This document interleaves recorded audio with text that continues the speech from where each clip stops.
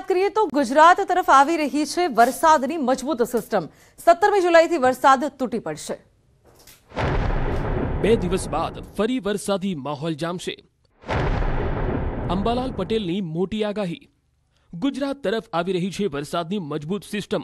સત્તરમી જુલાઈથી વરસાદ તૂટી પડશે. હવામાન નિષ્ણાત અંબાલાલ પટેલે જણાવ્યું કે પંદર જુલાઈ સુધી સામાન્યથી મધ્યમ વરસાદની ઝાપટા રહેશે. ત્યારબાદ પંદરથી વીસ જુલાઈમાં મધ્ય ગુજરાત, ઉત્તર ગુજરાત અને કચ્છના ભાગોમાં વરસાદ થશે. અઢારથી વીસ જુલાઈમાં બંગાળના ઉપસાગરમાં વરસાદી સિસ્ટમ સક્રિય થશે. આ સિસ્ટમ વધુ મજબૂત બની દેશના ભાગોમાં ભારેથી અતિ ભારે વરસાદ આપશે.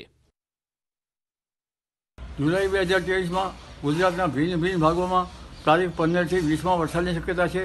જેમાં ઉત્તર ગુજરાત, મધ્ય ગુજરાત દક્ષિણ સૌરાષ્ટ્રના ભાગો, દક્ષિણ ગુજરાતના ભાગો, કચ્છના ભાગો અને પશ્ચિમ સૌરાષ્ટ્રના ભાગોમાં વરસાદની શક્યતા છે. અંબાલાલ પટેલે જણાવ્યું છે કે ગંગા યમુના નદીની જળસપાટી વધશે.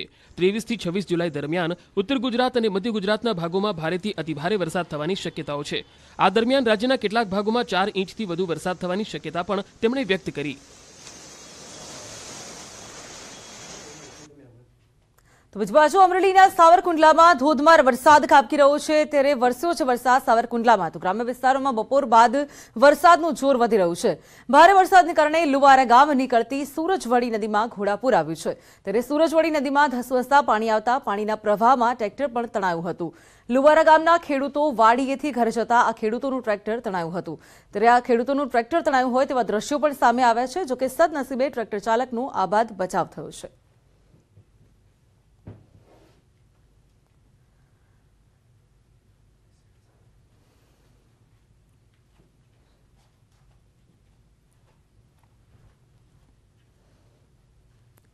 બીજી તરફ અમરેલી જિલ્લામાં વરસાદી માહોલ સાવરકુંડલા શહેર અને ગ્રામ- ગ્રામીણ વિસ્તારમાં વરસાદ. ત્યારે મિતિયાળા, અભરામપરા તથા આંબરડીમાં વરસાદ છે. નાળા ગમે ભારે વરસાદથી સ્થાનિક નદીમાં ઘોડાપુર આવ્યું છે. ત્યારે આંબરડીની નેવડી નદીમાં ઘોડાપુર થયું છે. તો લીલાઈની ખારોની નદીમાં પણ ઘોડાપુર આવ્યું છે.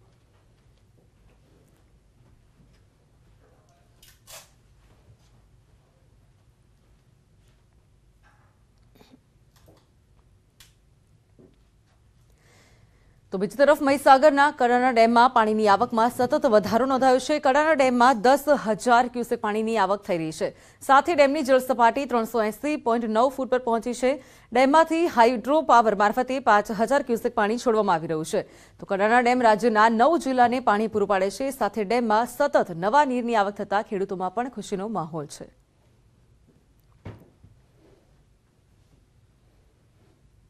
તો આ તરફ રાજ્યમાં અષાઢમાં મેઘો અનરાધાર વરસ્યો છે. ભારે વરસાદથી સુરતના માંડવીમાં આવેલો માંડવીમાં આવેલો ગોળધા ડેમ ઓવરફ્લો થયો છે. આ ડેમ ઓવરફ્લો થતાં ખેડૂતોમાં ખુશીની લહેર છવાઈ છે.